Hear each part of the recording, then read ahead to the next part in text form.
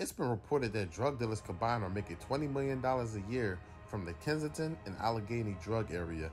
The government funded $300,000 to clean it up and take drug dealers off the streets, and it still looks horrible with junkies standing around rocking back and forth and homeless people sleeping everywhere. Thousands of families are ruined due to drugs. Parents aren't coming home to children. They're spending finances on drugs, leaving homes with nothing, forcing them to do anything for money. Kids are born with birth defects. Kids are forced to live an unfair life. Meanwhile, thousands of families are getting saved. Instead of working a 9 to 5 that pays 465 a week after taxes, young people could pick up a drug shift making $1,500 a week tax free. Giving their family access to luxurious lifestyle, this seems to give you more respect than a guy that's getting it the right way, barely making it.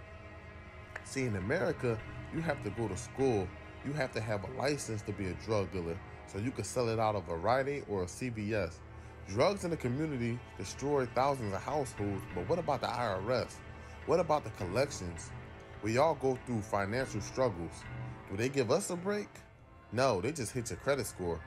So now you can't get approved for a house or apartment, so you're left homeless. Taxes could go up every year on your home, and if you don't pay that, you're homeless. Just like what Omar said on the wire I got the gun, you got the briefcase. Before you leave, make sure you subscribe. Hit the thumbs up or hit the thumbs down. And thanks for watching. I'm out.